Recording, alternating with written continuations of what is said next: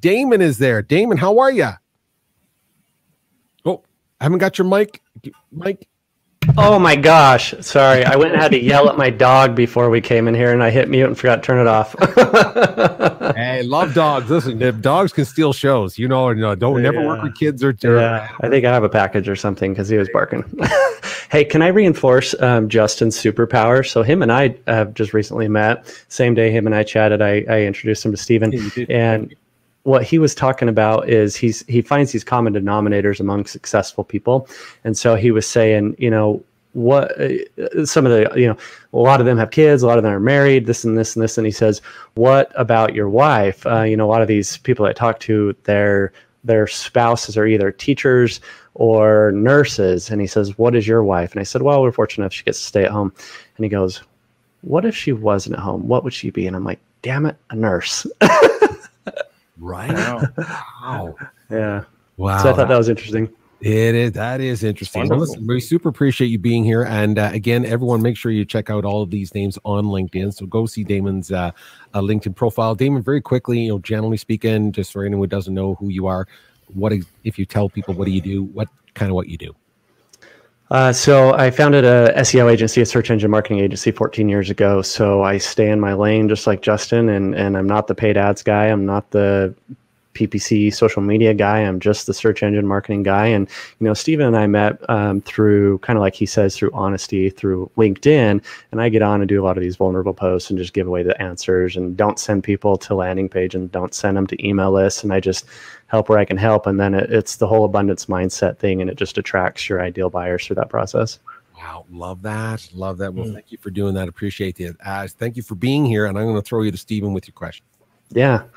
So, hey, Hey, Stephen, good chat. So you said earlier you're obsessed with destroying doubt, and that was kind of a good opportunity for me to, to ask you about something that's kind of I've realized more recently. So I find myself always being a forward mover. If I have a goal that comes to mind, I say, how do I get there and reverse engineer it? And I just go. And not until recently, I haven't, it's not that I thought that was unique, but I've realized more so that the world is the opposite of that. And so I've had to become more knowingly um, empathetic to that. And so it's, it's, it's fascinating to me, you know, why do so many people have internal fears and doubts, and why why is the majority of the the world in this space of self doubt? Because most people have outsourced their identity to someone else's opinion. Hmm. Social media has given us the ability to instantaneously validate myself. So, if we, two things that come to mind just from what you said, and then I'll come up with something in a second. Unique is you, useful is craved. And useful, in the another word, is confident example. One of the reasons both Justin and yourself stand out and is the, from the point of view of you're an example of what people crave. You, and guess yeah. what? Both of you stay in your lane. Both of you decide your human, your superpowers. So as far as that's concerned, the uniqueness is you, useful is craved. Now, if we have a hundred year life, we'll do this real quick, and people have seen me do this before. If the first 50 years of your life, from the moment you're born to the moment that you get to 50, all your life is about accumulation.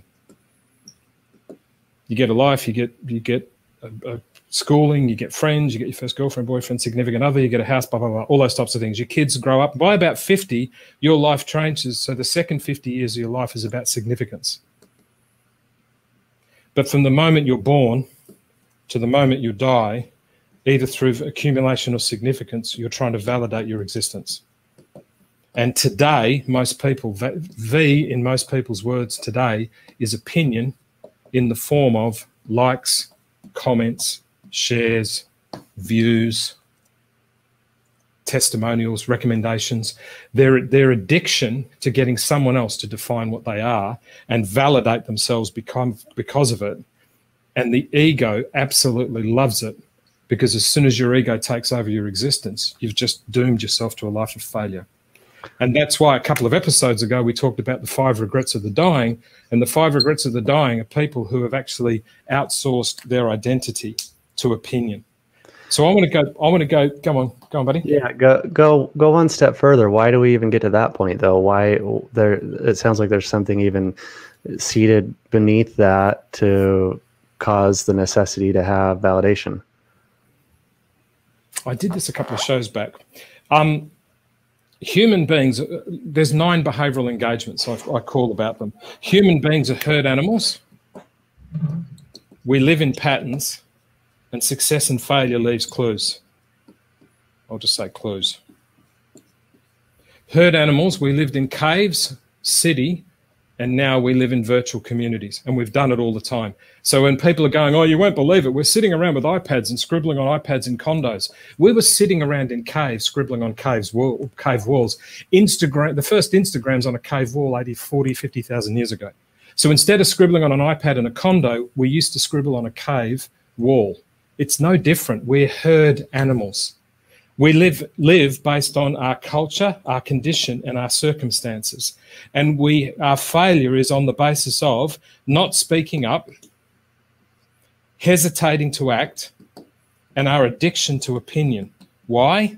Because if I if I actually forget about my addiction to what other people think, I speak up, I don't hesitate, I don't care about my community, my culture, and my circumstances, I'm actually going to basically create my own world called me most people won't do it because if I'm addicted mm. to not speaking up, to not he- to hesitating because I want to fit into my culture, condition, and circumstances because my virtual group may not like it. If I turn around and say these words to you, I don't care what you think of me but I sure do care with what you think of you. And I dedicate my every breath to making sure you wake up and look in the mirror and love what you see.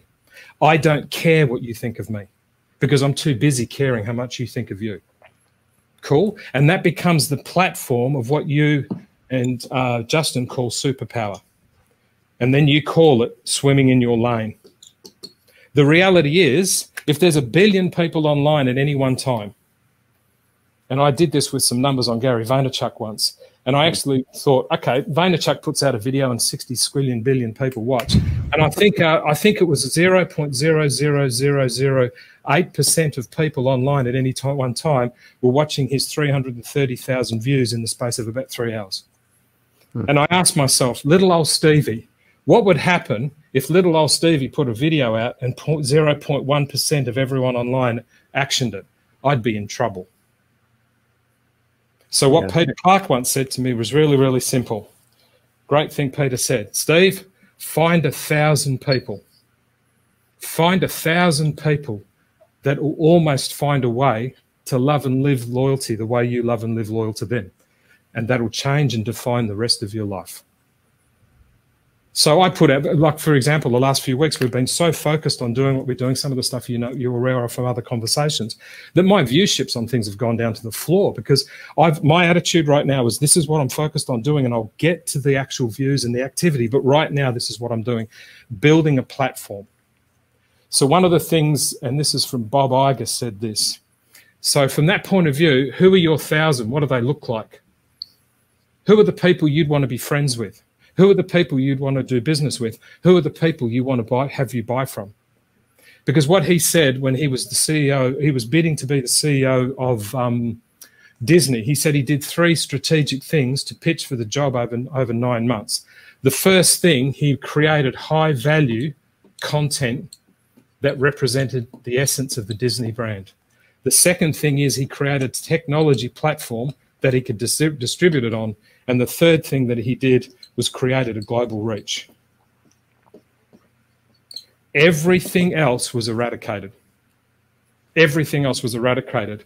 And that high value content was Marvel Comics, 21st Century, Lucasfilms, Marvel Studios, and then the technology platforms that they built to stream all of that stuff on, and then the global reach, which included all the stuff around the Disney, the Disney properties and Disney hotels. So your thousand people you need to focus on what is the thousand people that you want to build a relationship which is so profound in its profit that the wealth will generate the riches based on the high value content of the technology platform and the global reach that you have. And bear in mind, 98% of people are addicted to pleasure, comfort, and entertainment. It's the reason Friday night's the highlight of the week. Let me have you take it a step further on the thousand people because uh, yeah, sure. more specifically on the on the business angle. So you know, with the types of businesses that I work with, they're all across the board, right? There's yes. professional sports teams, there's international real estate companies, there's Inc. 5000 groups, businesses featured on TV shows, blah, blah, blah, blah, blah. So they're, they're just everywhere. I mean, I have a lumber yard, I have uh, an attorney that focus, specializes in narcissistic relationships, I have technology clients. So the problem that I have is, okay, how do I, how do I find a thousand people because we've grown substantially just by referrals because not only do we say what are the advantages of, of what we do but also here's the disadvantages so just like we yep. talk you know just transparency yep. and it, it, i have people come to me all the time and say well who's your buyer persona and i'm like i don't know so if i wanted to amplify what i'm already doing that's proven to to be successful um, how do i even find the thousand people because i know there's a common denominator with the buyer but i don't know what that is because there's no common denominator in their industries yeah, but you're thinking of the individual. Yeah, well, I am because that's who I want to figure out who to who to more fine tune yeah, my message. But if you if you come to the board, Peter, diversity. You you said diversity in the context of the thousand people or your your your client base. What num, my number one question for you is why have you got such a diverse client base? What are you doing that's creating such diversity? Because aren't you the SEO guy for the small business owner who wants to improve their bottom line, or aren't you the SEO guy for the the real estate developer who wants to build whatever? What why are you creating diversity in your market space? What are you doing? Because at the moment, if this is growing, my question to you is why are you creating diversity? Number two, what and it sounds like it's the old marketing stuff but it's another way of it's it's the same same approach. What are they coming to you for? And why what why is what you're doing? What is the outcome they're getting?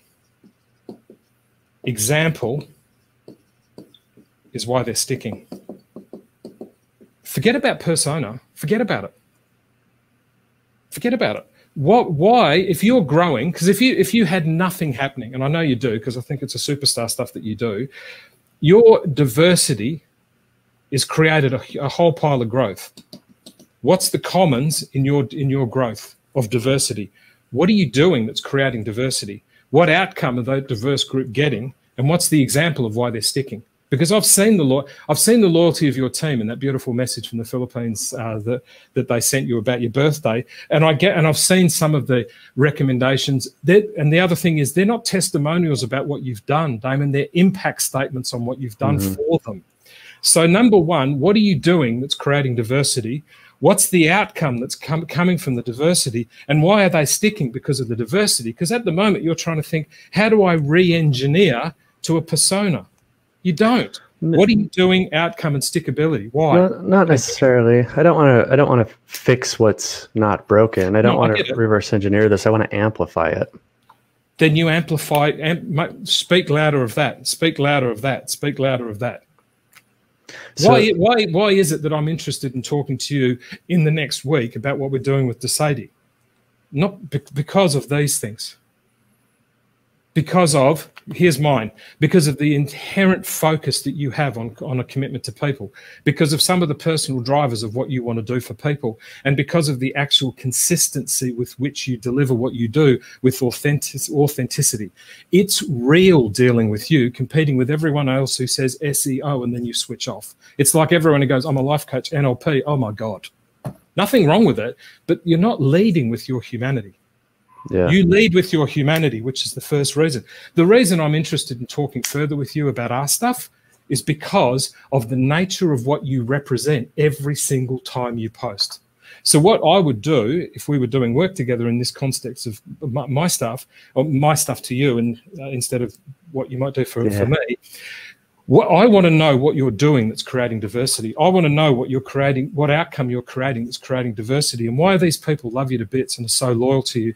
Amplify the answer to those three questions. That's what the game is. I got told, I got told, Steve, no one will believe you can do what you do on a whiteboard as fast as you do. From one of the De Sede guests in Miami, you need to do one to ones in front of many. And then Peter asked me to do an interview on one of his linked up LinkedIn linked ups. And I said that line to Peter and goes, Yeah, we should. 18 shows later, inspiring insights. What is it? Me doing one to ones in front of many. Because that's what they told me. This is what you do, Steve. No one will believe it, so go do it. What are what what are they? What's the answer to those three, and amplify that? Well, I, I can answer two and three. The the number one is the wild card though. So, you know, can you can you bring that whiteboard up a little bit more so I can see it? So the the what the what yeah, no, you're good. You got it now. Peter brought it up. So the the what is you know i actually deliver on what they expect. So they come for online marketing and i make online marketing happen. And i have i have you know consistent follow through and and as you kind of touched on it's not just to get them take their money and run. Like i will say no if i don't feel like i can bring them results. So then why they stick is because it happens. Uh, I i hold their hand along the journey and i say here's what's next. And i set expectations. But the the why in the beginning, being that it's almost all referrals, is you know two and three is what drives the people to, to refer to number one but i don't have a con so so maybe this is a more simplistic way of approaching what my question is um, mm. I, I know how to bring what i bring to people when i get in touch with them but let's say i want to meet more of those people that i know i can help and we just boil this down to me just wanting to connect with new people on LinkedIn or whatever. Yeah. So because I can profile and find a target audience based on what I can do in number two and three, I don't know though who to reach out to and engage to say, hey, like I'm not the snake oil salesman SEO guy. Um, I can bring you results, and if it works, it works. If it doesn't, super cool. I'm glad to connect either way. You said most of your growth is coming from referral.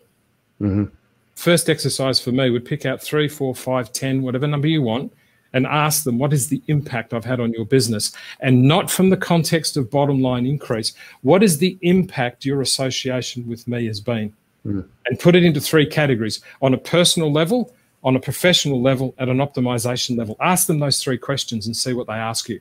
The words that they use is the words that you know this. The words that they use are the words that you can go start seeking other people that are that are using it.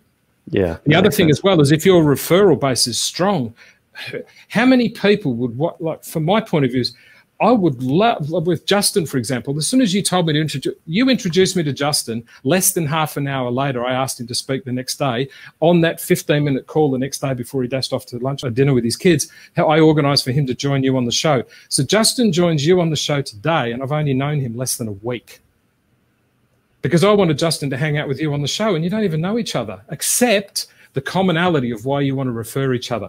What is the commons around why people are referring? So find three, mm. six, nine, 12, whatever the number is, and ask them, what's my impact on you personally, my impact on your business professionally, my impact on how your confidence is in terms of what you do? And use the word impact because you don't want them to write back going, oh, you're really good at SEO. You're really good at it. What is the impact on Steve in your life? If I hang around with you for five minutes, I'm going to change your life, period. That's it. So that's if you want to amplify, amplify why others are saying such good things about you. And if you think of Justin, there's a definitiveness of purpose of what he believes in. Most people would think you're arrogant to say superhero. Hero. He mm-hmm. says it with such empathy and sincerity that what would have sound like an arrogant comment comes across as, Can I have some? Yeah. Can I have some? So, the number one thing, what is my impact on you personally, professionally, and what impact have I had on you? And those three questions with language correctly will start giving you, and what it will do is open the door of you actually being able to expand the, the referral program and then all the fancy stuff you can do with referral programs. Mm-hmm. Deciding Soul Shifters is a community of getting people to ask who, who wants to be part of Soul Shifters. So this Saturday, everyone, I'm going to get on the on, on the call, no whiteboards, no nothing. And for an hour or so, people can hang out and have coffee with me. It's no question and answer, it's just hanging out. Mm-hmm. Why? Because Michelle and Sarah Rashmi have all said, oh, it was lovely. We did that, Steve. Can we have coffee again? So I'm just going to let people hang out with us. Yeah. It's not a, it's not a free coaching session. It's not there's no whiteboards. It's just me with a cup of coffee hanging out. Why? Because I want to nurture the environment of why people want to be together. Why are people referring you, Damon? You're a freaking nice guy. It's why I'm interested in working out how we do some stuff. And you know what? The world is craving for people who are really nice guys. An example of the expression of the humanity of what's true. How many people want to buy a pet project of a little cabin on the lake so they can do it with their kids? It's a beautiful story. So, yeah. my advice would be do that exercise of asking and then amplify the answers. Yeah, I think that's perfect because I just need my foot in the door on on what path to take, and I can take it from there. So that's a good start. I, mate, I, I, I just think you you you need. this is me going off on one. You need to acknowledge how good you are, not at SEO because you're freaking awesome at it. How good you are at being present in someone's life. It's just we had that call ages ago, two three months ago. It was just enjoyable being in your company. Yeah. Yeah, I know you know. About, I know you know about SEO, but we spent 90 percent of that forty-five minute call doing nothing else except I get this guy. I know he's good. I don't need to be sold on his goodness. I don't need right. to be sold on his ability. I need to be sold on his goodness. I appreciate it. Fantastic, Damon. I see so relate to some of that stuff you said. Uh, we and only for time purposes for the show, I can't get into right now, but I do relate to the idea of, of you know, yeah. There's something I wanted to say to you. That's an inside joke for freezing everybody. But Damon, you know, the the, the point is, uh, uh, um, maybe we'll chat about this another time. Yeah. I struggle with that as a content creator that I could literally have as one customer a national airline, and and someone over here is yeah an auto, an auto mechanic and you're yeah. like, how did that happen? How did I work with, you know, why is that happening? So, so yeah, exactly. Point, hold that thought if you can. Go ahead, Stephen. Sorry. Just one sec. Yeah. Whether they're an auto mechanic, whether they're an online coach, whether they're SEO, whether they're a musician, whether they're a janitor, whether they're a CEO, have you noticed how their behavior changes to a common element of the compassion of wanting to make sure that what's important in those life experiences that I put out in the in the masterclass, have you noticed that when a trigger happens, our compassion is driven by the same thing, whether you're Chinese, Japanese, American, Australian, Kiwi, whatever. Humanity is the common element of what makes everyone the same. And when you behave with a level of humanity that you've got, Damon, you will amplify your business and it's time because people don't want to optimize their website they want to optimize themselves and the website will come with them yeah Boom. and you can do it, and you can do it because it's the only reason I'm interested in talking to you. Fantastic. But what about my beard? another hey, that's another another show, Damon. Hold that thought. Hold that thought. Yeah.